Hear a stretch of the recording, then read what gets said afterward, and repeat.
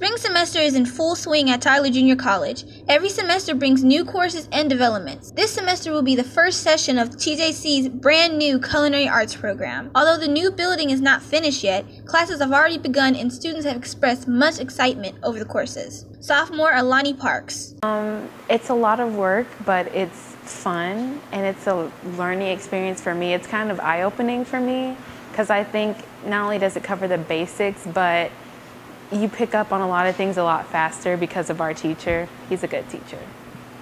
The new program brings students from both inside and outside of TJC, as some sophomores have also joined the program.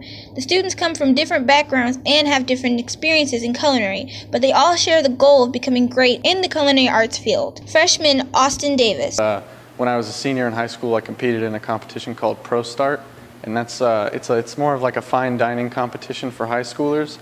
And uh, I ended up placing fourth in regional and fourth in state. So I did okay. Didn't do as well as I wanted to, but uh, it kind of sparked some things in me, made me want to learn more, and uh, definitely made me want to get into a better job in a better kitchen, which I did. The culinary arts program is made of two categories which focus on either cooking or pastry. This adds more choice for students who want to focus more on one area of cooking. Sophomore Shania Willis.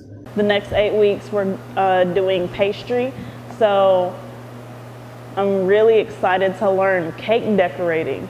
I can bake, I cannot decorate. the program is a wonderful addition to TJC's expanding list of programs offered at the school. Reporting for the drumbeat.com, this is Sydni Cunningham.